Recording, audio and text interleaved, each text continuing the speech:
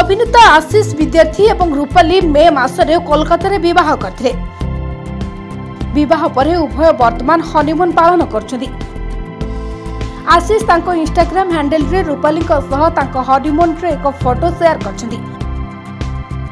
খবর অনুযায়ী উভয় বর্তমান সিঙ্গাপুরে বুলছেন গত মাসে আশিষ কলকাতায় রূপালীকে বিবাহ করে ତେବେ ଏହା ଆଶିଷଙ୍କର ଦ୍ୱିତୀୟ ବିବାହ ଆଶିଷ ବିବାହ ପାଇଁ ଏକ ଧଳା ରଙ୍ଗର ପୋଷାକ ପିନ୍ଧିଥିବା ବେଳେ ରୂପାଲି ଏକ ସୁନ୍ଦର ଶାଢ଼ୀ ବାଛିଥିଲେ ତେବେ ସତାବନ ବର୍ଷ ବୟସରେ ଦ୍ୱିତୀୟ ବିବାହ କରିଥିବାରୁ ଆଶିଷଙ୍କୁ ସୋସିଆଲ ମିଡିଆରେ ବହୁତ ଟ୍ରୋଲ କରାଯାଉଛି ବିବାହ ପରେ ଅନେକ ଲୋକ ଆଶିଷଙ୍କୁ ବୃଦ୍ଧ ବୋଲି କହିଥିଲେ ଯାହାକୁ ନେଇ ଆଶିଷ ଏକ ଉପଯୁକ୍ତ ଉତ୍ତର ଦେଇଥିଲେ ইন্ডিয়া টুডে সহ কথা ହେବା ପରେ ଅଭିନେତା କହିଥିଲେ ମୁଁ ବିବାହ ପରେ ନିଜ ବିଷୟରେ ଅନେକ ଅପମାନଜନକ ଶବ୍ଦ ଶୁଣିଛି ଲୋକମାନେ ମୋତେ ନେଇ ମୋ ବୟସ ବିଷୟରେ କେଉଁ ପ୍ରକାରର ଲେଖିଥିଲେ ତାହା ମଧ୍ୟ ପଡ଼ିଛି